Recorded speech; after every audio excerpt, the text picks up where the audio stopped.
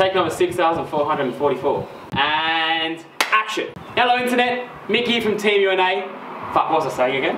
Hello internet, Mickey here from Team U&A. This weekend, we're installing our coilovers from our good friends at MCA Suspension.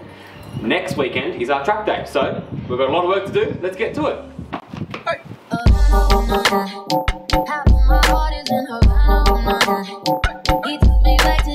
Alright, these are our coilovers.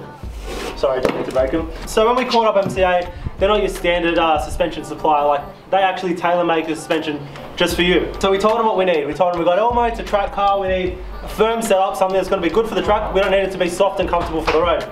So they suggested the um, XR series, which is a kind of mix in between the blue and the blues and the reds. And they also suggested we do 18 kilograms on the front and 9 kilograms on the rear. To put that in, in perspective, your average street car usually runs between 8 and 9 on the front um, and much less on the rear. So this is going to be a very firm setup, perfect for the track.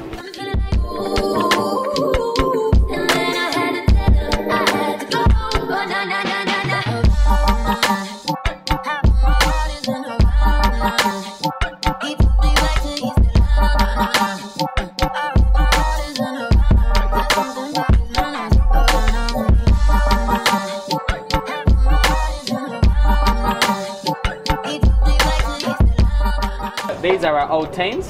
They've done us well, 10 super straights, yeah? Up for sale if anyone wants them. So these are going to be coming out to replace with our lovely MCA coilovers. One thing we do need to do is take off this, I don't know what it is, it's like some sort of a U. Let me get a bracket closer. underneath it. Do you know what it's called, Dave? No. No, neither do I. Um, maybe, maybe don't go into uh, the details. Also, take this thing off. It says VL, so it must be from a Commodore. Because this here actually slips onto our new coilovers. so we're taking yeah. that off, slipping out the old coilovers, Yep. new coilovers in, slipping them into that.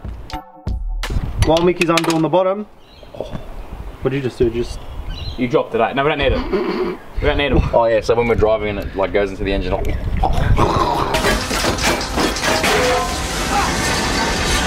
While Mickey's undoing the bottom, you are starting on the top. The top, there's only two nuts to take off, and then once I take that off, Mickey should be able to just drop it straight out.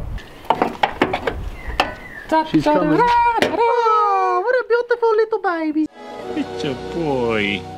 And what a boy! So these are actually brand new Tein Super Streets. We Yep. uh, just bought them last week. Uh, they've never been tracked. Never been tracked. Never we just been put them in just to try them. Probably drove about Not what, even dirty. 20 kilometers max. I mean, Max. if you want to buy them, Yeah. they're more expensive than they are from the store. And if you pay cash, you get 10% off.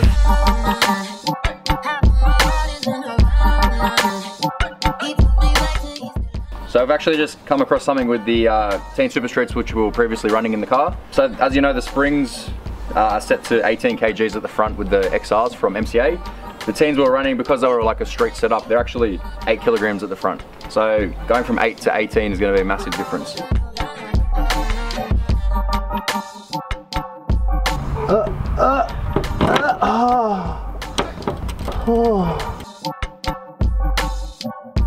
So fronts is done. Wheels going back on. Apprentice Christian here is helping us. So, Jason. Go Christian. Put your feet underneath it. Time for the backs. Hold on, Eventually. hold on, before we put the wheel Eventually. on there, what's the height? They do it with this.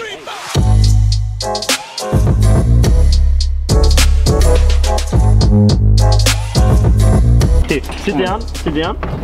Put your feet one foot there, one foot the other side. Lift it up onto your knees. Pick it up from underneath. There's one. Now try for the others. Done. It would have been much easier if you told me the first time.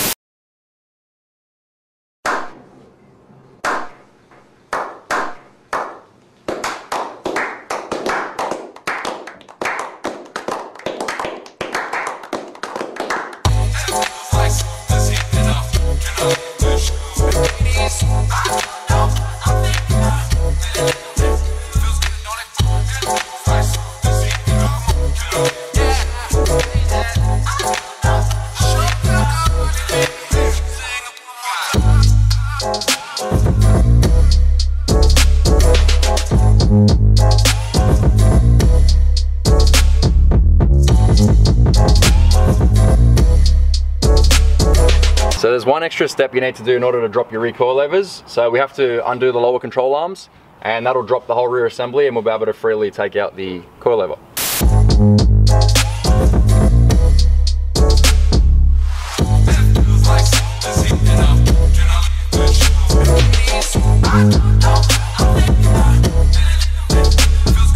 Being U&A, no install is ever standard install. We always run into hiccups. The hiccup that we ran into today is that our lower control arms in here uh, are not standard EJ Civic lower control arms. They're actually out of an EJ6. We didn't realize this because we took them straight off our donor car. The suspension that was provided for us is a fork type suspension um, and it doesn't actually line up with these lower control arms. So to combat that, we're gonna go out and buy some lightweight lower control arms for an EJ Civic.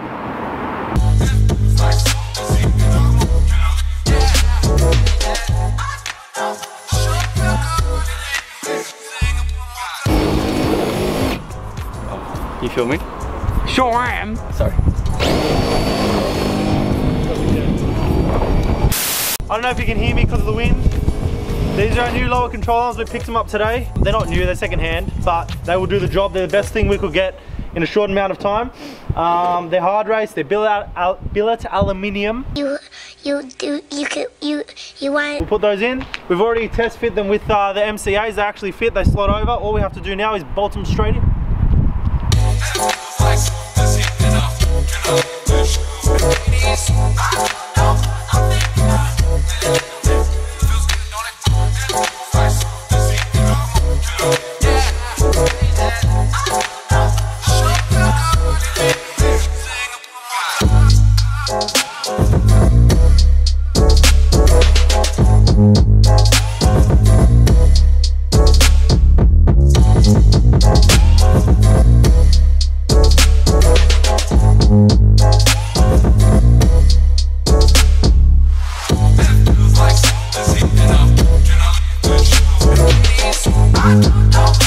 completes another day at Team U&A. Suspension is in, lower control arms are in. It looks like a little bit of a monster truck now, it's a bit high.